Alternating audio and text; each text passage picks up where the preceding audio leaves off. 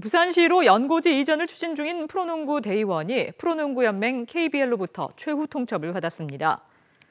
KBL은 어제 열린 이사회에서 다음 달 15일까지 임금 체불과 네이밍 스폰서 계약 등을 해결하지 못하면 구단 퇴출을 검토하겠다고 밝혔습니다. 대의원은 현재 부산시와 연고 협약을 맺고 네이밍 스폰 기업과 협상 중이라며 기한 내 해결하지 못하면 KBL의 결정에 따르겠다는 입장입니다.